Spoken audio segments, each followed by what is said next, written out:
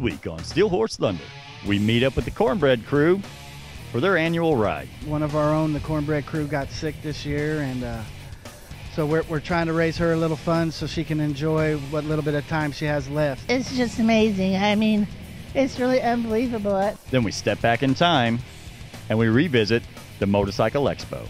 You have a trustworthy face? Absolutely not.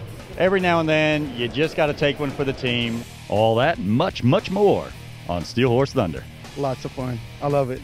Steel Horse is brought to you by Ladendorf Law with over 60 years' experience in motorcycle and automotive injury cases.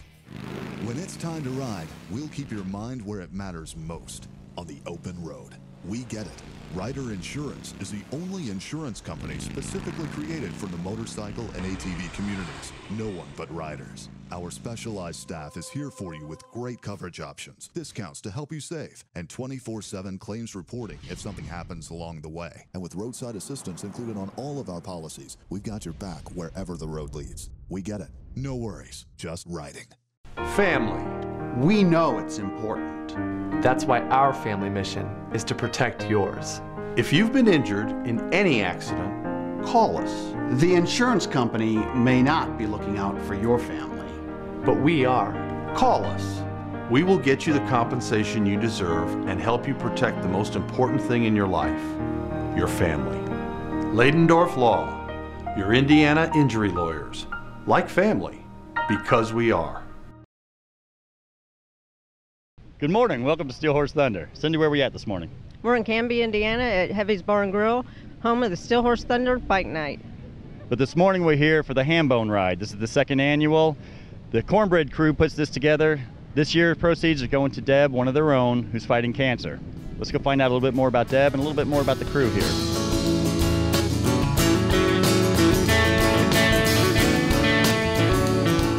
Dave, I noticed you're wearing cornbread on, on, your bandana, and I've heard people talk about the cornbread crew.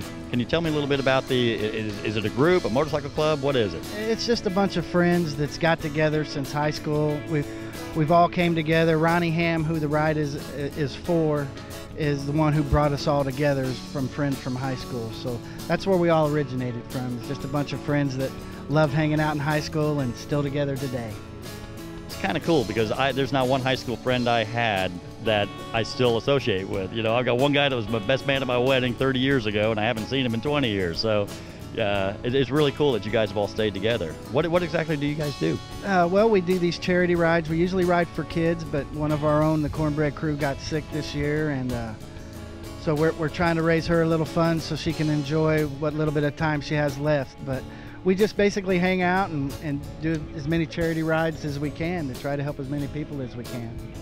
Debbie, today is a ride for you. So can you tell me how it feels to come out here and see all these riders that have showed up? Uh, it, it's just amazing. I mean, it's really unbelievable. I, I, I can't believe how many people showed up.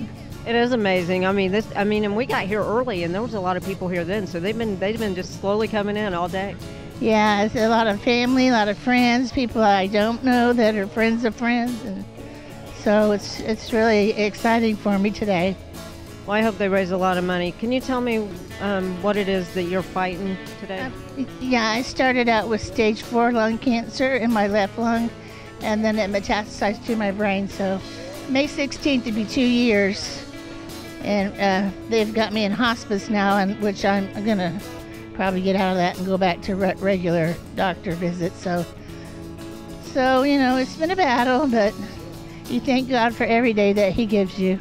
Hey Walter, we're here at the Hambone Ride. You know, everybody thinks charity rides is all about Harleys or all about cruisers. I know you and, and, and you have some other comrades with you here, all on the sport bikes.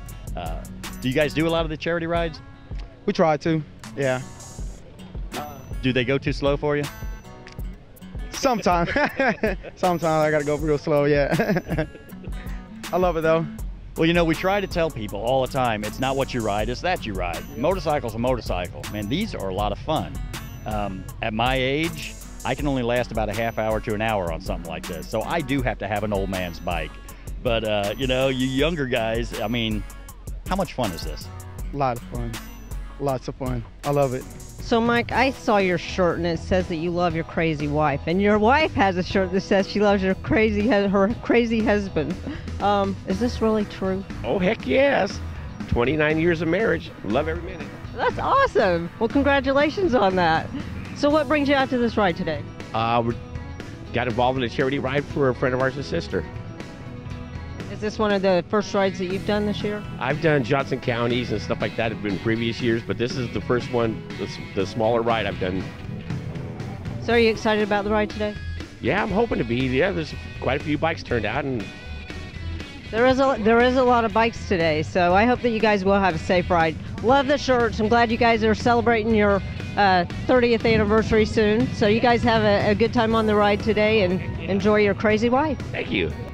Hey, Bubba, you guys are having an awesome turnout, man. I can't believe how many bikes are out here in the parking lot already.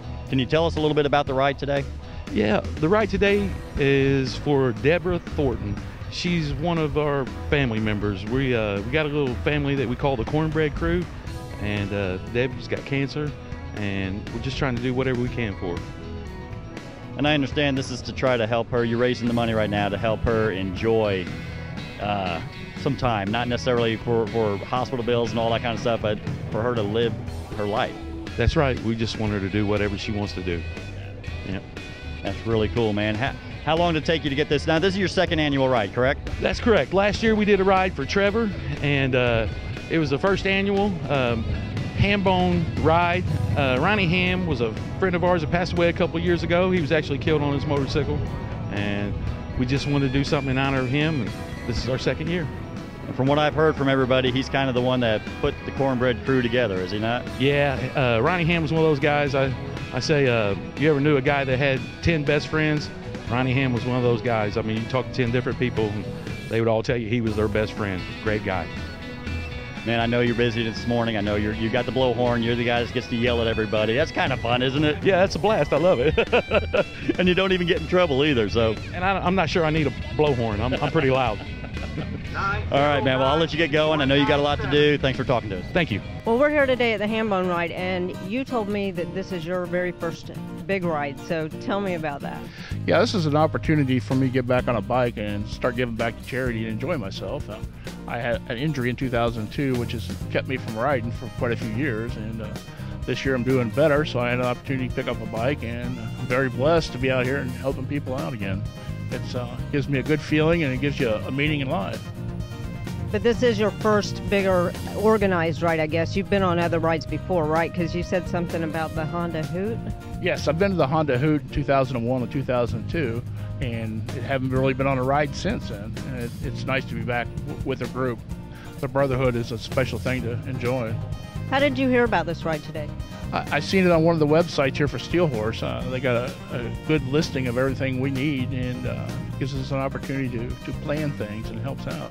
All right, I'm going to ask you a question, and you don't have to answer if you don't want, but you probably don't know exactly how fast this goes, but about how fast? Done 165 is the fastest I ever took this bike. Is that right? Yeah. What's that like when you're doing going that fast? Nice. love it. I love it. I, I, got mine up to 100 once, just so I could say I got it up to 100. And I'll be all, in all honesty, it was, uh, it, it was, it was sobering. That, that's all I'll say is it was sobering. Tell me about that Honda Hoot thing, though. The Honda Hoot is in Knoxville, Tennessee, and you got to get on early in the year, take an opportunity to uh, plan your tickets and, and buy your rides. So when you get to Knoxville, you have a package set up with everything you need for the ride for the week. And then you get up every morning and you know where you're going and uh, they furnish your meals uh, they set you all up. And I had a chance to ride around the bristol track um, go to the, Deals Gap.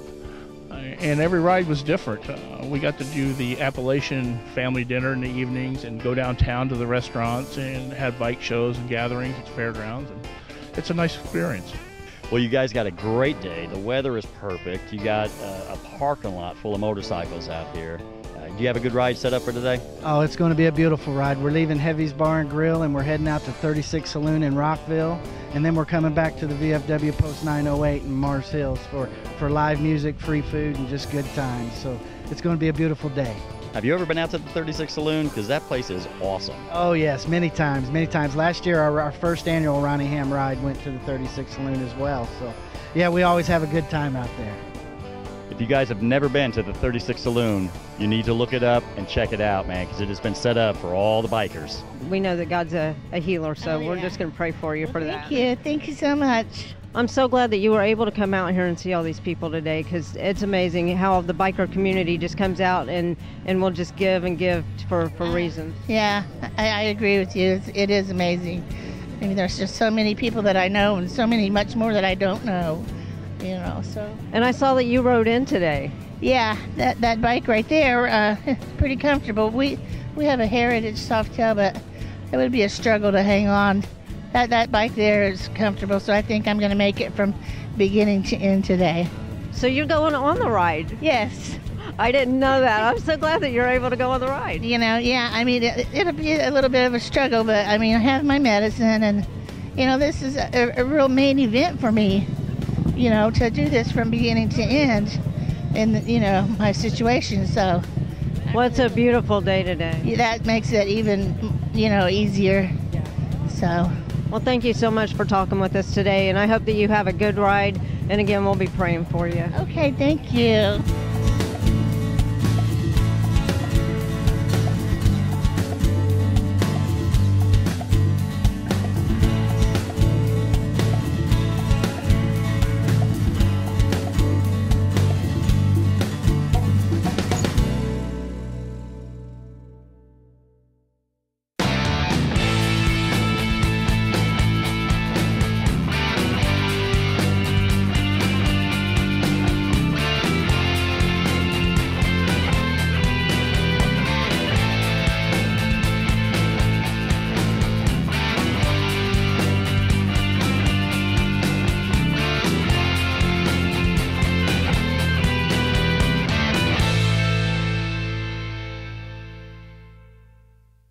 Bad things happen to good people. That's the difficult part of our job. Our firm works with great people during very tough times.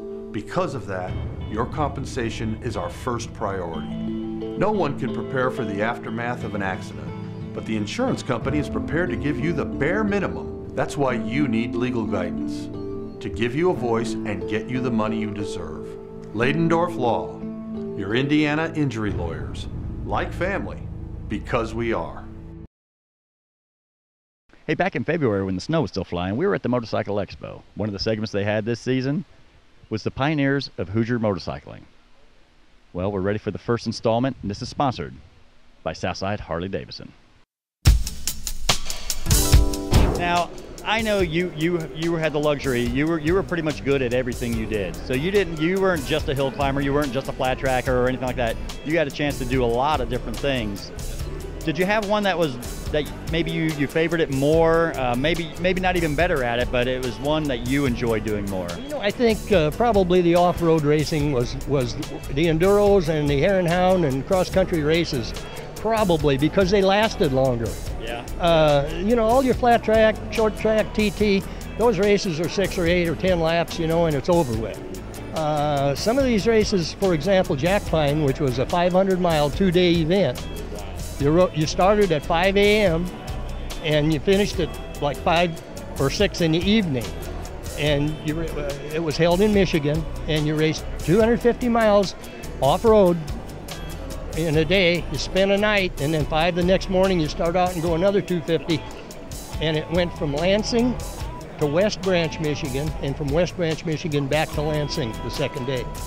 And so the experiences you had in two days of off-road racing just gets close to your heart as compared to. But but I really I've loved I loved it all. I loved every bit of it that I did. But probably came up with more stories and had more fun in the off-road racing than anything else. That's really cool. Now I'm going to ask you a question. You don't have to answer if you don't want to, but approximately how many years did you race? 20. Yes, I actually did. Right at 20 years. How hard was it to walk away from when you said, all right, you know what, I'm done? Actually, what I did, I, I quit um, road racing and dirt track racing and continued off-road racing. So I kind of tapered it off. And because I off-roaded up until the 70s actually, so but I don't count that all as my racing days. You know, 20 years is, is good. See, and to me, the off-road stuff seems like it would be so hard on your body. I mean, to me, it just seems like you're just taking an absolute beating. And you did this back before some of the new shocks and some of the new suspensions that we have nowadays. I mean, it's a whole lot different now. Yeah, actually, your knees took the place of the rear suspension. And uh, a fact is, I've got two artificial knees. but it was worth it, right? Oh, I wouldn't take anything for it. Yeah, the experience, it was, it was wonderful. And it still is. It lives on. Here we are. Well, Bob, I really appreciate you taking time to talk to us. I love the fact that you guys are doing this here at the Expo. Um, it's obviously the highlight for me, and I know a lot of people were really excited about this, so thank you very much for everything you did to get this back here.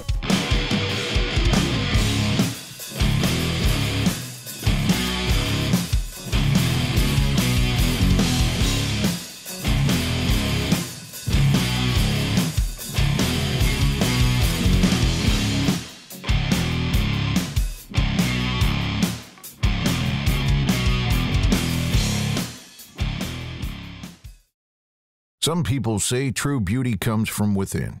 At Crambo's, we think beauty can be inside and out. Along with the best paint and bodywork in the state, Crambo's also offers all Harley motorcycle service work, from tune-ups to rebuilds, so make sure your bike looks as good as it runs and bring it on in to the only shop that treats your bike as good as we treat our own. Crambo's. We'll get you noticed. The choice we make often affects our family and future. For most, riding is a choice easily made to escape life's daily routine. Accidents can happen to the most seasoned rider through no fault of their own. Make the choice to select a seasoned attorney if the worst happens to you and you are involved in an accident with injuries. Ladendorf Law has been representing injured bikers for over 34 years. Call us first. Ladendorf Law, like family because we are. All motorcyclists are invited to the 22nd Annual Miracle Ride benefiting Riley Hospital May 30th and 31st. On Saturday, poker runs from around the state will bring the riders to Main Street and the town Speedway. And Sunday, the big ride starts at Allison Transmission. Don't forget, the Miracle Trail Riding Race is June 6th and 7th. Miracle Riders have donated more than $4.4 million to Riley Hospital since 1994. Get all the Miracle Ride details online at miracleride.net. Ride with us and make miracles happen for the kids at Riley Hospital. Hey, 2015 is finally upon us, but I had to ride through a bunch of snow to get here. Cindy, where are we at? We're at the Indianapolis Motorcycle Expo, and we're at the Children's Motorcycle Adventure. I'm so glad ABA puts this on for the kids. But you know what? There's a lot of stuff going on here. There's vendors everywhere. What do you say we go find out what's new for 2015?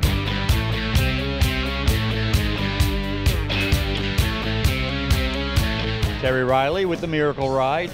Know, everybody's familiar with the Miracle Ride. I mean, unless you've been underneath a stone for the last 20 some years now, you know, most people know the Miracle Ride. But I know there's going to be some changes this year. And can, can you tell us a little bit about that? Sure, sure thing. This year, the uh, uh, we have a new poker run coming out of Fort Wayne, Indiana. That's a new first.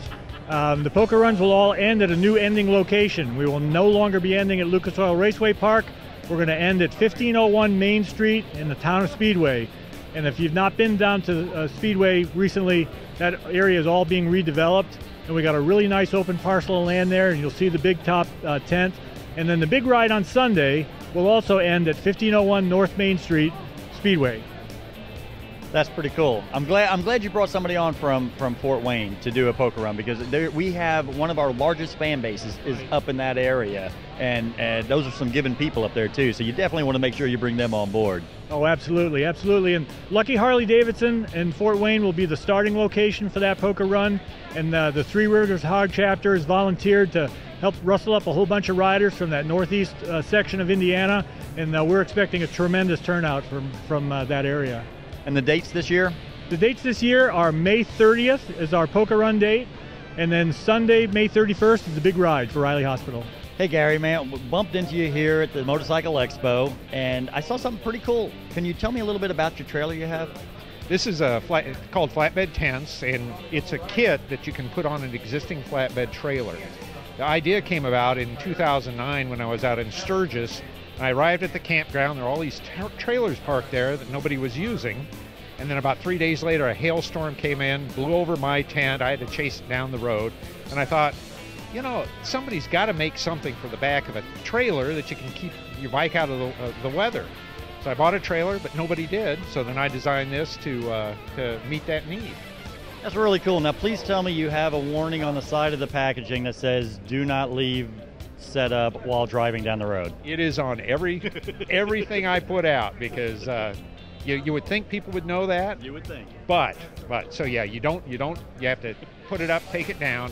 Takes about 10 minutes. Uh, once you once you figure it out, one person can put this up in 10 minutes. The bigger one takes about 20 minutes because there's more to it. Um, and when you pack it down, total weight on this one is about 60 pounds. When you take it down, it fits in a five in about a three by three by four, two by three uh, container, depending on how tightly you roll it. And you just put the uh, put the poles on the trailer, pack it up in the bag, and it's ready to go. Pete, we're walking around here. We're at the Motorcycle Expo, and we're walking around. I saw Amsoil, and can you explain to me what Amsoil actually is? Amsoil is a fully synthetic oil. It's the uh, we like to say it's the first in synthetics.